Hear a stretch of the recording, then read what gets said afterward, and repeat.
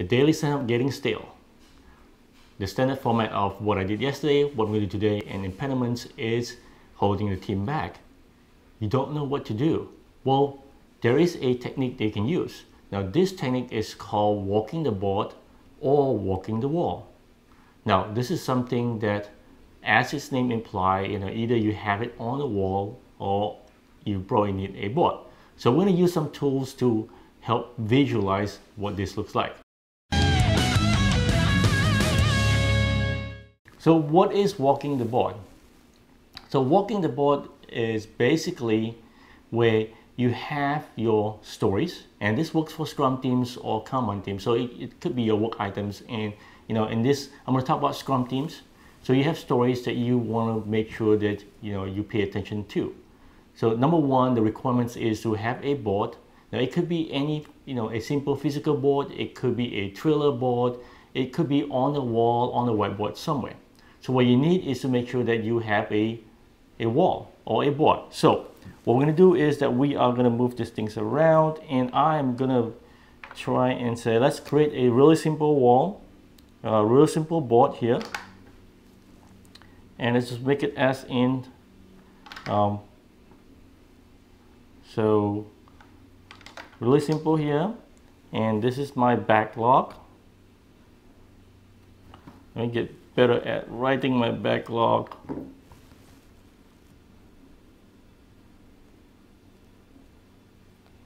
This is in progress. This may be your testing uh, or you know ready for for P, for pro owner for example you know all testing stage that you may have that some teams do have. And, and then let's talk about done so now we have our board set up so we're going to use some stickies here to help us do that and let's say assuming that we're going to start the sprint with one, two, and three. Let's just use three for right now. And I'm going to denote that as you know, story A, story B, and story C.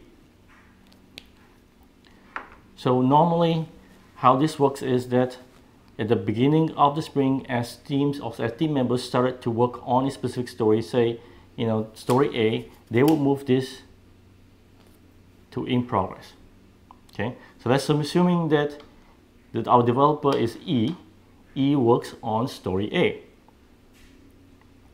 And story B is worked on by, let's use D.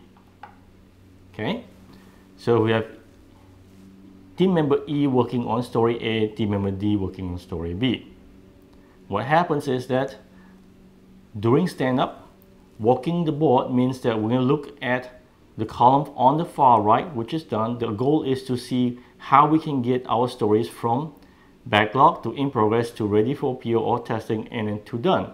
So there are multiple pooling that needs to happen. Okay, so what we want to do is that, well, imagine this, during a stand-up, what you would do is you look at the stories, anything in done, nothing, anything in this column, nothing, and anything in, in, in progress column and you say well yes. So the first thing we, we look on is that whoever works on story A will talk about story A. So basically what have we done with story A in order to move it to the next column? Okay so everybody talks about it and yay we got A and it is now ready for our problem to be look at and it's in, in that in, in that state so the next one that we talk about this story, story B, and that moves and do that. So what happens the next day is that now you talk about story A and it is done. We'll put E on the side because he's got nothing to work on anymore. We'll put him on the side here. So story A is done, right? The next thing we're going to talk about story B. What can we need to get it done? Since there is nothing else for E to do, E can now pick up story C to move it to in progress and work on that.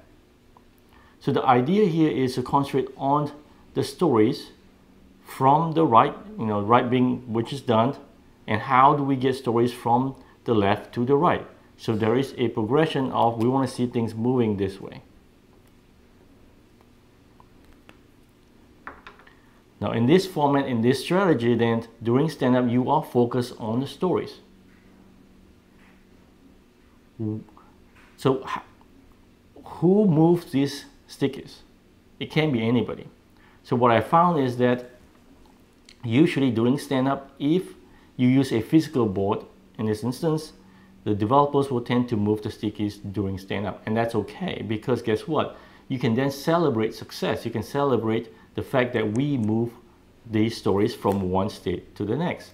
And that is important. And that celebration itself, you know, believe it or not, tends to motivate developers to do to get things to the next level. Uh, and also that because we're focusing on the stories, we can focusing everybody on well, what can we do to move story B, for example, from here to here. So it's very focus oriented. It makes the conversation goes really fast.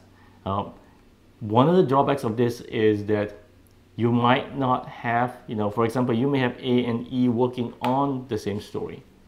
Well, we're going to talk about this story. Okay, so A and E may talk about the same thing. Sometimes E is talking and A is hey, you know, adding some stuff to it, and that's okay. Now, what's apparent also is that maybe you don't have a story. Maybe this use this team member app doesn't work on anything at all, and you will find out really quickly well who's working on what. Are they working on specific stories or not? So this technique, to me, is more helpful and more valuable, more effective compared to what I did yesterday, what I'm going to do today, and any impediments. This helps team members focus on these two week sprints on getting stories moving to done. If you don't have a physical board, what can you use? Trello board. A Trello has it. Uh, if you, you know don't have any software to, to help you track these things, then you know what about real-time board? You can use it for distributed teams. I know for sure that TFS has it as well, have a specific board you can use. Uh, CA Agile, you know, CA Agile Central also has specific board that you can use. Jira, of course, has it too. So you can use any of those uh, software for distributed teams, but my recommendation is that if you do have a team that are co-located, I would suggest you try and do it in physical. Have two physical, as in you know somewhere we can all see, we can all move things around during stand up, makes a lot of conversation easier, and then also you know have a system record as well. So this technique is awesome. I highly recommend it for anybody that is looking to improve their daily stand up. Try that out. Let me know what you think. Bye.